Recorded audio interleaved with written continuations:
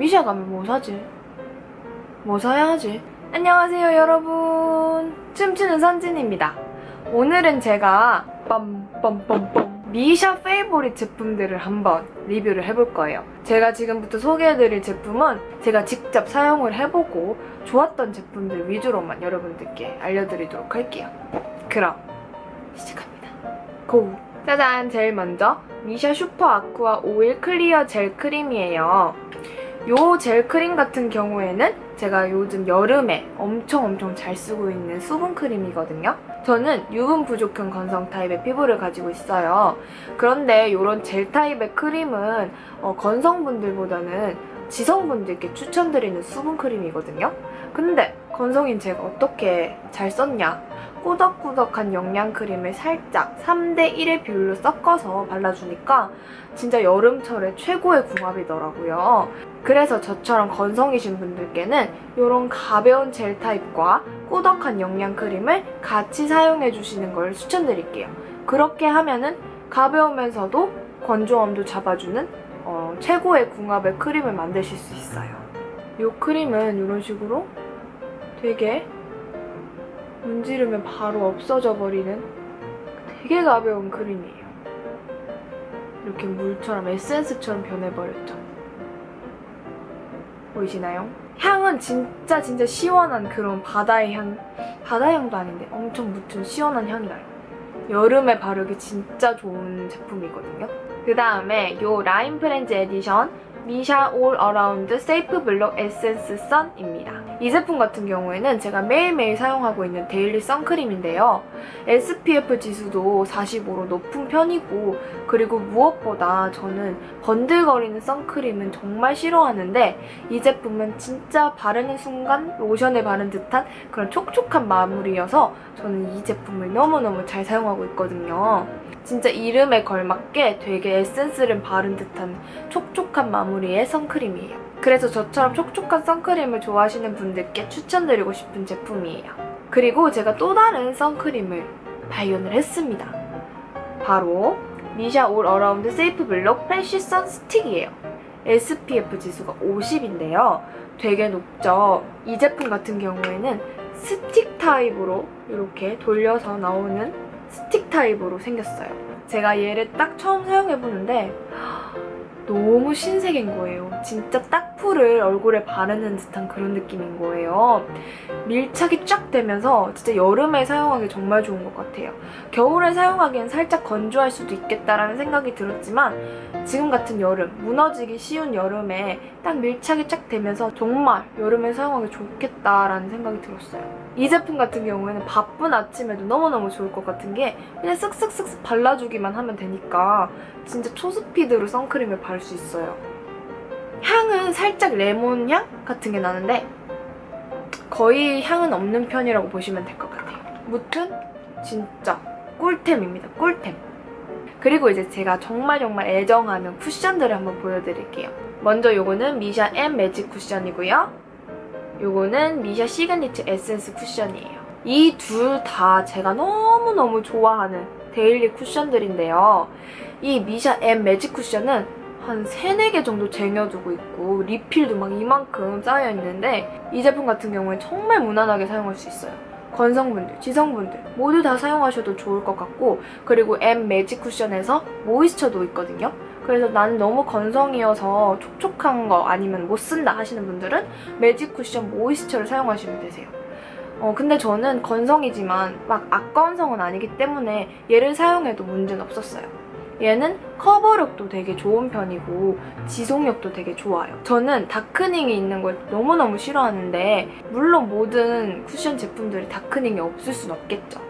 하지만 그 정도가 있잖아요. 엄청 심하다. 그래도 좀 덜하다. 이런 게 있는데 얘는 되게 덜한 편이에요. 다크닝이 거의 없는 편이라서 저는 너무너무 잘 쓰고 있고 저는 로드샵 쿠션 중에서는 얘가 제일 손이 잘 가고 좋은 것 같아요. 그 다음에 요 미샤 에센스 시그니처 에센스 쿠션은요. 아까 M 매직 쿠션이랑 살짝 다르게 훨씬 더 촉촉한 타입이에요. 근데 M 매직 쿠션 moisture랑은 또 다른 느낌으로 좀 약간 광채가 난다고 해야 되나? 얘는 되게 예쁘게 광을 내주는 피부가 되게 좋아 보이게 만들어주는 그런 에센스 쿠션이에요. 말 그대로 에센스를 바른 듯한 그런 쿠션이거든요. 저는 겨울에 얘만 바르고 다닙니다. 겨울에 얘를 사용하기엔 살짝 건조하더라고요. 근데 얘는 너무너무 촉촉해서 아, 진짜 손이 안 갈 수가 없어요. 저희 엄마도 너무너무 좋아하고요. 저도 너무너무 좋아하고 진짜 엄마랑 딸이랑 같이 써도 좋을 만한 그런 쿠션이라고 생각해요. 이렇게 저의 daily 쿠션 두 가지를 또 추천을 해보았고요. 그 다음에 이거는 별로 알려진 것 같진 않은데 미샤 시그니처 볼륨 brightening concealer예요. 21호고요. 이거는 brightening concealer. 말 그대로 이 제품은 칙칙한 부위를 밝혀주는 그런 제품이거든요. 저 같은 경우에는 다크서클, 그리고 코 주변, 입 주변, 그리고 이마, 콧등에 하이라이트 효과를 주고 있어요. 이게 입생로랑 뚜시에클라랑 되게 비슷해요. 근데 저는 입생로랑보단 이 미샤가 훨씬 더 손이 잘 가더라고요. 지속력도 높고 발림성도 좋고 건조하지도 않아서 전 너무너무 좋아합니다. 저 같은 경우에는 눈가가 되게 건조해요. 그래서 조금이라도 건조한 컨실러를 바르게 되면은 눈가 주름에 막 끼고 막 일어나고 그러더라고요. 근데 얘는 그렇지 않아서 너무너무 좋더라고요. 저처럼 다크서클이 고민이시고 눈가가 건조한 편이시라면 이 제품을 한번 써보세요. 자, 그 다음에 짜라란! 마스카라예요. 요거는 4D 마스카라인데요. 두 개 다 똑같은 4D 마스카라인데 디자인만 다른 거거든요. 저는 이 4D 마스카라를 한 4개, 5개 정도 쟁여두고 쓰고 있습니다. 정말 정말 좋아요. 제일 좋은 게 가격. 가격이 너무너무 저렴해서 아, 진짜 보시면 이렇게 솔이 되게 길어요. 다른 마스카라들에 비해서 되게 길고 요 막대 길이도 되게 길죠. 저는 이 막대 길이가 너무 마음에 드는 게 진짜 바를 때 편해요. 음, 전 짧은 건 못 쓰겠더라고요. 얘는 뭉치지도 않고 번지지도 않고 한 올화로 잘 올라가고 저의 인생 마스카라라고 보시면 될 것 같아요. 짜잔! 이거는 미샤 롤리컬 마스카라 볼륨 컬이고요. 제가 요즘에는 4D 말고 얘만 사용하고 있는데 오늘도 얘로 마스카라를 해줬는데 어때요? 진짜 잘 올라갔죠? 진짜 저 깜짝 놀랐어요. 이거 바르고 엄청 속눈썹이 속눈썹 연장한 사람처럼 풍성하게 되는 거예요. 그리고 길이도 엄청 길어지고 그래서 너무 길어져가지고 이렇게 어, 이러면서 살짝 지웠던 기억이 있어요. 그만큼 정말 볼륨 하나는 짱이고 컬링력 하나도 짱인데 고정력이 살짝 떨어지는 것 같았어요. 근데 제가 방법을 발견했습니다. 처지지 않는 방법. 살살 조금만 조금만 올려주시면 돼요. 얘는 한 몇 번의 터치만으로도 이렇게 되기 때문에 너무 많이만 안 하시면은 처지지 않고 얘가 너무 많이 하게 되면은 무거워져서 처지는 것 같더라고요. 근데 살짝만 해주시면은 이렇게 예쁘게 계속 계속 고정되더라고요. 그 다음에 제가 너무너무 좋아하는 미샤 살사 레드예요. 미샤 살사 레드 립스틱이에요. 너무너무 예쁘죠? 다가오는 가을에 바르기 진짜 예쁠 컬러예요. 이런 컬러입니다. 보이세요? 이 촉촉함? 그래서 각질 부각도 거의 없는 편이에요. 이런 약간 고추장 컬러 같죠? 진짜 예뻐요. 맥칠리 저렴이라고 보시면 될 것 같아요. 일단 얘는 색감이 너무너무 예쁘고 촉촉해서 각질 부각도 없어요. 진짜 진짜 괜찮은 제품입니다. 가을에는 이런 컬러 하나쯤은 가지고 계시면 좋을 것 같아요. 자, 그 다음 이제 마지막이에요. 요거는 미샤 글래마트 루즈 선셋 맨해튼이라는 립스틱이에요. 보시면 로고가 이렇게 박혀있고 입술 모양 같죠? 그리고 자석.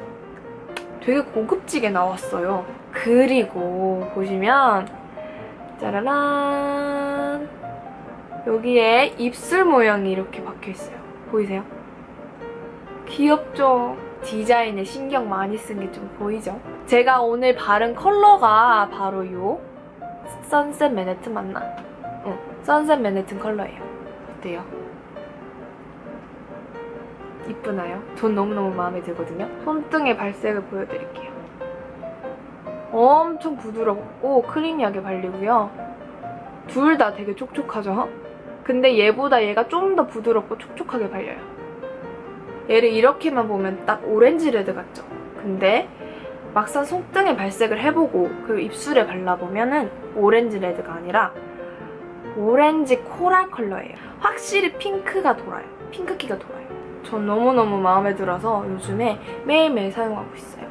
제 머리 컬러랑도 잘 어울리지 않나요? 자 이렇게 해서 미샤 favorite 제품들 리뷰가 끝이 났어요. 미샤 가면 뭐 사지? 뭐 사야 하지? 라고 고민이 되셨던 분들께 이 영상이 도움이 되셨으면 좋겠습니다. 그러면 저는 다음 영상에서 또 찾아뵙도록 할게요.